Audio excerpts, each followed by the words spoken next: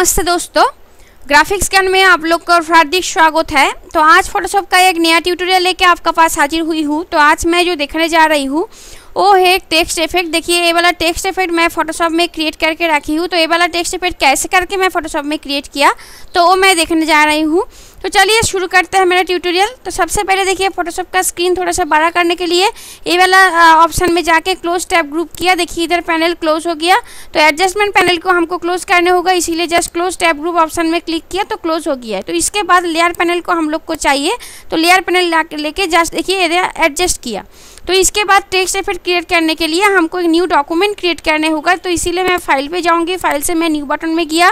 New option का एक box open हुआ है विथ 1280 पिक्सल एंड हाइट देखिए 720 पिक्सल बैकग्राउंड कंटेंट देखिए ट्रांसपेरेंट रख के मैं ओके किया। तो इधर देखिए ट्रांसपेरेंट डॉक्यूमेंट क्रिएट हो गया। तो इसके बाद देखिए फोरग्राउंड कलर देखिए ब्लैक एंड देखिए बैकग्राउंड कलर व्हाइट कलर में सिलेक्ट किया सिलेक्ट करके ओके किया। तो इसके बाद मैं फ़िल्टर पे जाऊँगी। फ़िल्टर से मैं रेंडर ऑप्शन से देखिए क्लाउड ऑप्शन में गया। तो देखिए, इधर एक बैकग्राउंड क्रिएट हो गया। तो इसके बाद देखिए ये वाला लेयर सिलेक्ट करके इसका ऊपर मैं डबल क्लिक किया तो देखिए लेयर स्टाइल ऑप्शन ओपन हुआ है। मैं देखिए इधर ग्रेडियंट ओवर में सिलेक्ट किया तो इधर देखिए ग्रेडियंट कलर सिलेक्ट है। रेडिस ग्रेडियंट कलर सिलेक्ट है। मोड देखिए multiply and opacity hundred percent रख के मैं ओके किया। तो देखिए, इधर एक बैकग्राउंड क्रिएट हो गया। तो इसके बाद हमको टेक्स्ट लिखने होगा। तो इसीलिए देखिए टेक्स्ट का हॉराइजॉन्टल टाइप टूल मैं सिलेक्ट किया। देखिए टेक्स्ट फॉन्ट देखिए मैं सिलेक्ट करके रखी हूँ। एंड देखिए काला देखिए व्हाइट कलर सिलेक्ट करके ओके किया। तो इसके बाद हमको एक टेक्स्ट लिखने होगा। तो इसीलिए मैं देखिए एक टेक्स्ट लिखा हूँ। तो इसके बाद मूव टूल लेके हमको इधर एडजस्ट करने होगा टेक्स्ट को। तो देखिए इधर मैं टेक्स्ट को एडजस्ट किया। तो देखिए इधर टेक्स्ट देखिए एडजस्ट हो गया। तो इसके बाद देखिए मेरा ये कीबोर्ड का इंटरफ्रेस किया। तो इसके बाद देखिए वाला टेक्स्ट जो लेयर है टेक्स्ट लेयर को हमको डुप्लीकेट कॉपी क्रिएट करने होगा। तो इसीलिए मेरा कीबोर्ड का कंट्रोल प्लस जे प्रेस किया डुप्लीकेट कॉपी क्रिएट हो गया। तो इसके बाद टॉप लेयर सिलेक्ट करके इसका ऊपर डबल क्लिक किया। लेयर स्टाइल बॉक्स ओपन हुआ है। मैं वेबल एंड एम्बॉस ऑप्शन में सिलेक्ट किया। डेप देखिए वन थर्टी फोर परसेंट में रखी हूँ साइज़ एट पिक्सल में रखी हूँ। इसके बाद मैं कॉन्ट्यूर ऑप्शन में जाके देखिए रेंज फिफ्टी सिक्स परसेंट में रखी हूँ। तो इसके बाद देखिए, हमको आउटर ग्लो सिलेक्ट करने होगा। तो आउटर ग्लो मैं सिलेक्ट किया। स्पीड देखिए फाइव पिक्सल एंड साइज़ देखिए थोड़ा सा कमा के मैं टेन पिक्सल में रखी हूँ। तो इसके बाद मैं पैटर्न ओवरले सिलेक्ट किया। पैटर्न ओवरले सिलेक्ट करके देखिए ये वाला टेक्सचर में सिलेक्ट किया। एंड स्केल देखिए थोड़ा सा मैं आ, कमा के देखिए वन ज़ीरो वन परसेंट में रखी हूँ। इसके बाद मैं ओके बटन में क्लिक किया। तो देखिए इधर टेक्स्ट आ गया।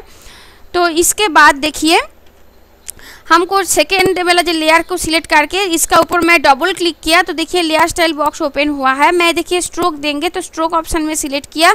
इधर देखिए फील टाइप मैं ग्रेडियंट देखिए ग्रेडियंट सिलेक्ट किया। ग्रेडियंट सिलेक्ट करने के बाद black and white gradient colour मैं सिलेक्ट किया। स्केल देखिए वन वन थ्री परसेंट रख के मैं ओके बटन में क्लिक किया। तो देखिए इधर टेक्स्ट आ गया। तो इसके बाद हमको स्टार इफ़ेक्ट दे, देने होगा। तो इसीलिए देखिए हमको न्यू ब्लैंक लेयर क्रिएट करने होगा। तो जस्ट इधर क्लिक किया न्यू ब्लैंक लेयर आ गया। तो foreground colour white colour select करके हमको ब्रश टूल सिलेक्ट करने होगा। तो मैं देखिए ये वाला ब्रश सिलेक्ट किया। तो देखिए ये वाला ब्रश मैं डाउनलोड किया। तो डाउनलोड लिंक मेरा डिस्क्रिप्शन में मैं दे दिया। आप लोग चाहे तो मेरे डिस्क्रिप्शन में जाके डाउन ये वाला ब्रश डाउनलोड कर सकते हो। तो जस्ट देखिए, इधर क्लिक किया तो देखिए ब्रश साइज़ को थोड़ा सा कमा के देखिए, इधर जस्ट क्लिक किया, देखिए, इधर ब्रश आ गया। इसके बाद मूव टूल सिलेक्ट करके ब्रश साइज़ थोड़ा सा कमा के देखिए, इधर लेके माउस को लेके देखिए, इधर लेके मैं इधर जस्ट ड्रैग किया तो देखिए, इधर ब्रश आ गया। तो इसके बाद ये वाला ब्रश का हमको कॉपी करने होगा, इसीलिए मेरा कीबोर्ड का कंट्रोल प्लस जे प्रेस किया। जे प्रेस करने के बाद देखिए कॉपी आ गया। तो इसके बाद देखिए कॉपी लेके जस्ट इधर ड्रैग किया तो इधर देखिए ब्रश आ गया। तो इसके बाद फिर से मैं कंट्रोल जे करके कॉपी किया। कॉपी करने के बाद देखिए माउस को लेके जस्ट इधर से देखिए इधर ड्रैग किया तो देखिए इधर ब्रश आ गया। फिर से मैं कॉपी किया। कॉपी करने के बाद देखिए, इधर माउस को लेके इधर जस्ट क्लिक किया तो देखिए इधर ब्रश आ गया। तो इसके बाद फिर से हमको कॉपी करने होगा। तो इसीलिए जस्ट इधर लेके मैं देखिए, इधर ड्रैग किया तो देखिए कॉपी आ गया। एंड देखिए सेम एक टेक्स्ट इफ़ेक्ट देखिए, इधर क्रिएट हो गया। आप लोग चाहे तो इधर ब्रश इफ़ेक्ट देने के लिए तो कंट्रोल जे करके कॉपी किया। कॉपी करने के बाद देखिए, इधर ब्रश लेके देखिए, मैं जस्ट इधर सेट किया। तो देखिए, इधर एक बहुत सारा एक टेक्स्ट इफ़ेक्ट क्रिएट हो गया। तो इसके बाद हमको टेक्स्ट इफ़ेक्ट को सेव करने होगा तो इसीलिए मैं फ़ाइल पे जाऊँगी। फ़ाइल से मैं सेव बटन में गया डेस्कटॉप में सेव करूँगी। फॉर्मेट देखिए जेपीजी ऑप्शन रख के हमको एक नाम देने होगा। तो देखिए हम देखिए, हम नाम दे के इधर सेव बटन में क्लिक किया। जेपीजी ऑप्शन का एक बॉक्स ओपन हुआ है, मैं ओके किया। तो मेरा डेस्कटॉप में ये वाला इमेज सेव हो गया तो ये वाला इमेज देखिए मैं ओपन किया। तो देखिए, ये वाला एक टेक्स्ट इफ़ेक्ट हो जो मैं फोटोशॉप में क्रिएट किया। तो दोस्तों, आज यही था मेरा ट्यूटोरियल आपको मेरा ट्यूटोरियल पसंद आए तो ज़रूर सब्सक्राइब लाइक एंड कमेंट कीजिएगा प्लीज़ नेक्स्ट ट्यूटोरियल में फिर भी मुलाकात होगी। तब तक लिए गुड बाय नमस्ते।